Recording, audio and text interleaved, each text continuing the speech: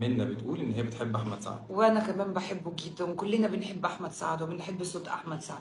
بعد الطلاق والكلام الكتير والمشاكل الكتير اللي حصلت بعد الطلاق بين الفنانة ريم البارودي والفنان أحمد سعد ريم البارودي في تصريح غريب جدا أنا بحب أحمد سعد.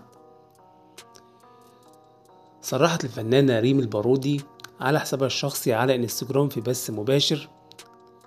لما سألها متابع انت بتحبي أغاني أحمد سعد ولا لأ؟ فكان ردها مش طبيعي أو ناس كتير كانت متوقعة إن الرد هيكون غير كده. هي قالت إن هي بتحب أحمد سعد وبتحب أغانيه كلها كمان. وبتسمعها دايما. وأحمد سعد صوته كويس جدا والوطن العربي بيحب يسمع أحمد سعد علشان صوته كويس جدا. فطبعا رد عليها أحمد سعد وقال إن هو مبسوط جدا من التصريحات دي وطبعا بعد الخلافات اللي حصلت ما بينهم كويس إن الحال بقى أفضل وإن هما مش زعلانين من بعض دلوقتي وإن هو بيحترمها جدا ومقدر طبعا التعليق أو التصريح اللي هي قالته عنه. منى بتقول إن هي بتحب أحمد سعد. وأنا كمان بحبه جدا وكلنا بنحب أحمد سعد وبنحب صوت أحمد سعد. وإيه المشكلة؟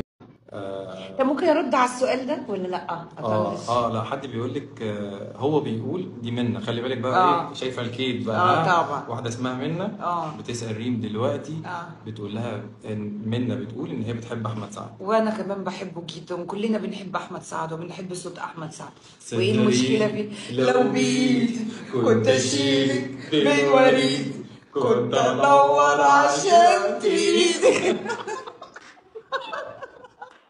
بتسمع بتسمع اغاني دلوقتي؟ إيه ده طبعا إيه أكتر حاجة مين الوطن ال- العربي كله طب بيسمع إيه أكتر أكتر أغنية اليومين دول بحب إيه طبعا؟ إيه اليوم الحلو ده ووسع وسع وسايرينا يا دنيا و ما شاء الله ده أنت. التراس احمد سعد مش أحمد مش مش لدرجة ألترس يعني بس اللي هي الأغنية الحلوة بتفرض نفسها على, الناس كلها ما حدش يقدر يقول إن يعني يبقى مش. طبيعي إن يقول إن الأغنية شكرا لكم متابعين القناة. أتمنى إن الفيديو يكون عجبكم وأتمنى إنك تشتركوا في القناة دلوقتي حالا وتفعلوا زر التنبيهات علشان يوصلكوا كل جديد.